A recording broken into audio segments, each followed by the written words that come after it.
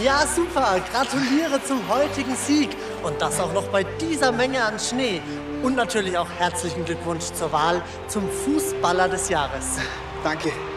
Aber das ist alleine nicht mein Verdienst.